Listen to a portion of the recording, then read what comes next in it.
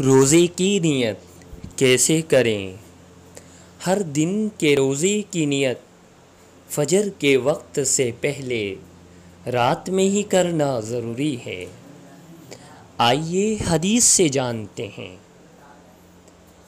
रसूलुल्लाह सल्लल्लाहु अलैहि वसल्लम ने फरमाया मल्लम युजम कबल फजरी फ़ला सियाम लहू जिस किसी शख्स ने रोज़े की नियत फजर के वक्त होने से पहले नहीं की उसका रोज़ा नहीं हुआ राविया हफ्सा बिनत उमर उम्मुल मुमिनीन रज़ी अल्लाह अन्हा हदीस number seven hundred thirty seven three zero रवाह Tirmidhi book number six अबवाबुस्सौम बाबू मा जाअ ला सियाम लिमन लम याज़िम मिनल नाज़रीन कराम इस हदीस में रसूलुल्लाह सल्लल्लाहु अलैहि वसल्लम ने नियत करने की कोई दुआ या रोज़ा रखने की दुआ नहीं सिखलाई है।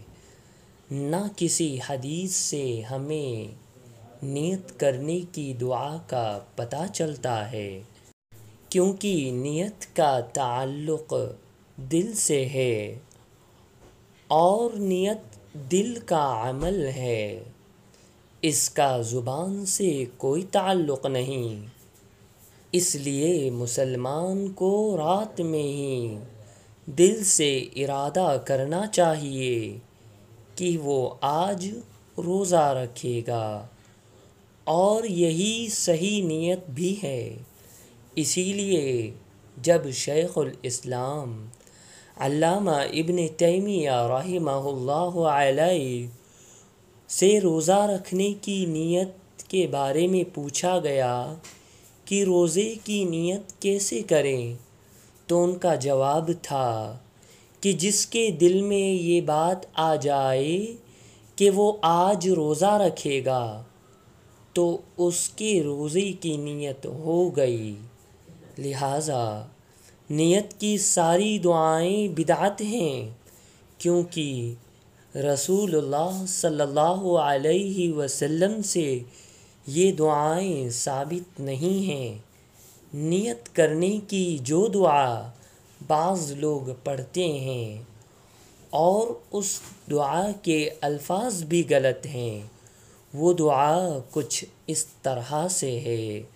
बिसऊ में गदिन नवई तो मिन शहर रमज़ान। मैं रमज़ान के महीने में कल के दिन के रोज़े की नियत करता हूँ।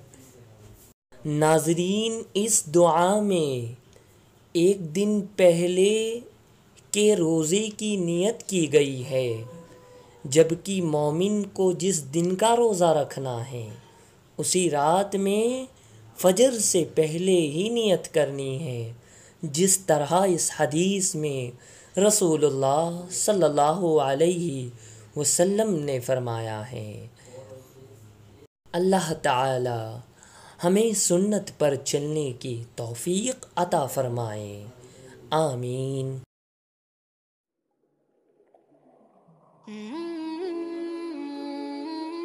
ऐसे ही वीडियोज़ और ताज़ा तरीन अपडेट्स के लिए अन को सब्सक्राइब करें और बेल आइकन ज़रूर प्रेस करें।